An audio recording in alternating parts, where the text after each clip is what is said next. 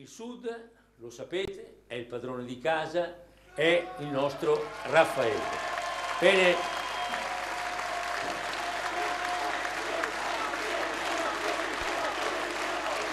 voi sapete, sapete tutti che nella vita ci sono gli amici dei momenti buoni, gli amici eh, delle amicizie facili, di quando tutto va bene, e ci sono anche gli amici dei momenti difficili, quello in cui è appunto difficile essere amici.